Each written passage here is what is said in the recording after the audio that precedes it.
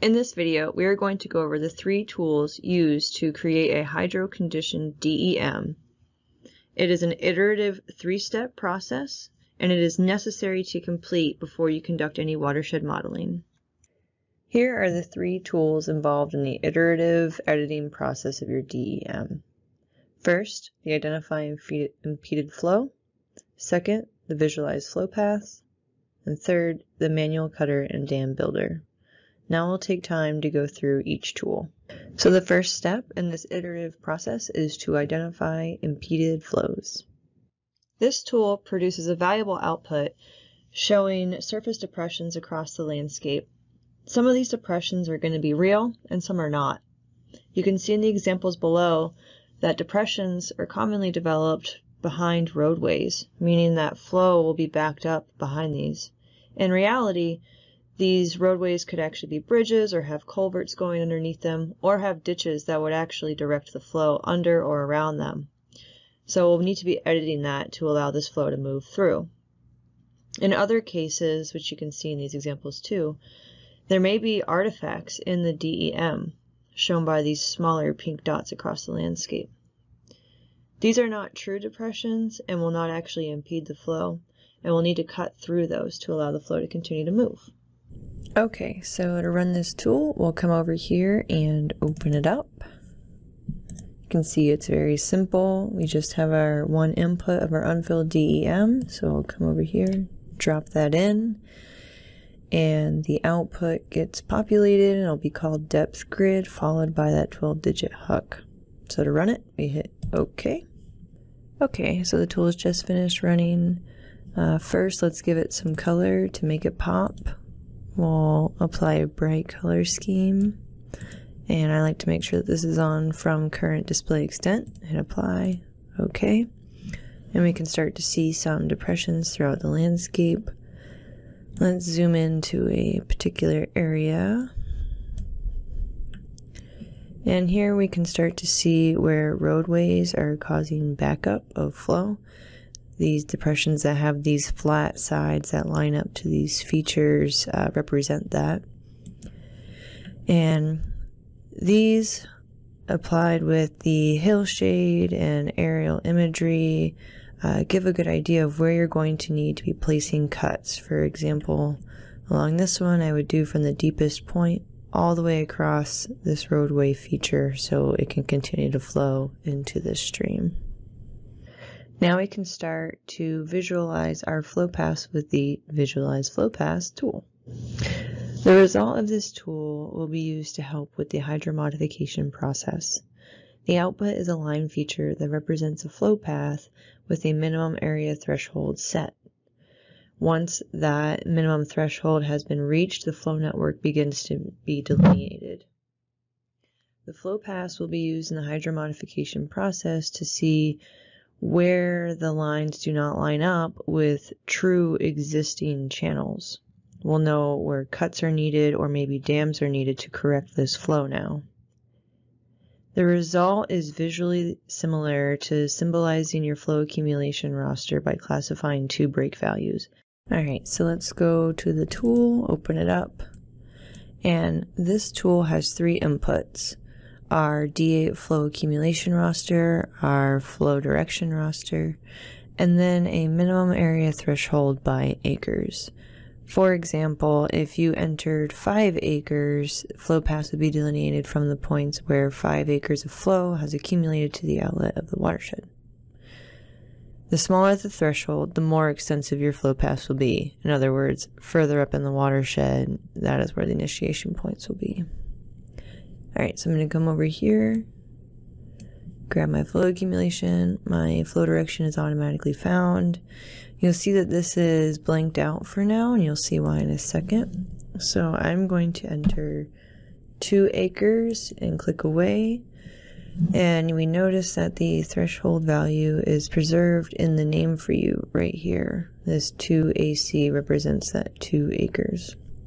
If I had chosen 2.5 acres, the value still stays 2AC. It is rounded to the nearest integer for this since you cannot have periods in a file's name. Alrighty, so let's hit OK and let it run. Okay, so it just finished running. Here it is. Let's just change the symbology to make it stand out more. There we go. Alright, and so with this tool we can now see our flow lines before any hydro conditioning has been done. And using this output in conjunction with the impeded flow output, again our hillshade, aerial imagery, uh, we can start to see where cut and dam lines will be needed. For example, here behind this impeded flow, we have that skating rink effect because there is no cut line across this roadway here. Alright, so we've reached the third step of the iterative editing process, and that's the manual cutter and dam builder tool, arguably the most important part in developing an accurate stream network. This tool works by the user, that's you, identifying errors within the DEM and flow network, and creating cut and dam lines to correct these. As you can see in the below example, we can have errors where flow paths are not flowing in the right direction or where they're coming into or out of the watershed, which is not desired. Cut lines are used when an obstruction of flow is present within the DEM and it needs to be burned through to allow the flow to move. The way this works is a cut line is drawn, shown there in red, and then the minimum elevation value that falls underneath that line is extracted and applied to the cells all along that line. This will be used in cases where you want to show that there are culverts or maybe that flow will be going under a bridge. The second option is to develop dam lines, which are used when an obstruction to flow is desired but is absent within the DEM. In this case, when a dam line is drawn, shown there in yellow, the maximum elevation values that fall along that line will be extracted and then applied to all the cells in the DEM that that line crosses. If no cut or dam lines are made, there's a good chance your flow paths are going to be inaccurate. Shown below, you can see in the DEM that the flow path should be along that dark brown line, but because no edits were made, the actual flow network that we got, shown in black, is just skating across the landscape, which is not realistic or accurate. Although it can be a tedious process, it's very important to go through the DEM one section at a time and evaluate where cut lines or dam lines should be placed very precisely. For example, it has been attempted to just apply the whole uh, hydrologic data set to a watershed and burn that in as a cut line. However, this is going to result in inaccurate results for later tools, such as the height above channel tool used later on in the ACPF toolbox. You can see below that by burning in an entire stream network that we get false uh, channel elevations throughout our DEM. So in the output it's showing that every bank is 3 to 5 meters higher than the channel, where that's probably not true in reality. Instead, it's much more appropriate to apply small cut lines where they're needed and only where they're needed. So here we can see a few obstructions caused by roadways that'll need to be corrected. So we draw short and precise lines across these roadways, connecting the channel to the next channel. When you take your time and make accurate edits, you're going to get accurate results. Here is that same example shown earlier, but now the correct height above channel values are given. We have areas that are considered channel, less than 1.5 meters, and so on. To begin the process of creating cut lines and dam lines, we first need to make the feature class so we can populate them in. We'll go over to our file geodatabase where everything else is being saved to. Right click, go down to new, and feature class. You want to give it a name that makes sense to you. In this case, I'm going to start making cut lines, so I'm going to name it my cuts. Give it the same alias. Make sure you choose line features and then hit next. To make sure that we have the same coordinate system, you can set that here. Just to make sure that you are using the same one, you can go down to layers and select that. Hit next. Looks good, looks good. And then we hit finish. And you can see it's automatically added into your table of contents. So now that we have that feature class in our table of contents, we can start an editing session to create our cut lines. You right click, go down to Edit Features and Start Editing. You'll see that the Editor toolbar automatically pops up, and then we're also going to want to open up the Create Features toolbar, which you can get hitting this button right here. You want to go down and make sure that the My Cuts layer is the one that's selected. Make sure that you are creating a line, and then you can begin. You'll be able to identify areas where cut lines are needed based on that depth grid that you developed using the Identify Impeded Flow tool. So here I can see a few depressions right off the bat that will probably be drained because they're just backing up from this roadway. So what I'll do is I'll zoom in until I can start to see some of the deepest spots within these depressions, shown here in pink and on this side of the road in darker blue or purple. To create the cut line, I'm in my editing session, have selected this and line, and I simply click from the deepest point on this side to the deepest point on the other side of the road.